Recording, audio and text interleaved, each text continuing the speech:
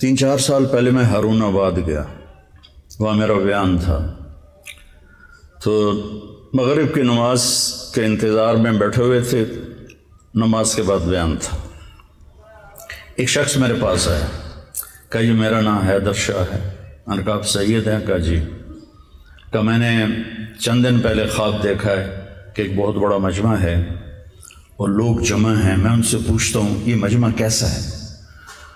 तो वो लोग कहते हैं कि यहाँ इमाम हुसैन सलाम मौजूद हैं और लोग उनको मिल रहे हैं। तो कहा, मैं मजमे को चीरता हुआ वहाँ जाता हूँ और मैं कहता हूँ असलकुम या इमाम। तो आप सलाम का जवाब देकर फरमाते हैं कि तारिक जमील से कहो। हमने तुम्हें अपना सदीक मरासी बना लिया। भाइयों अल्लाह के रसूल के मरासी बन जाओ।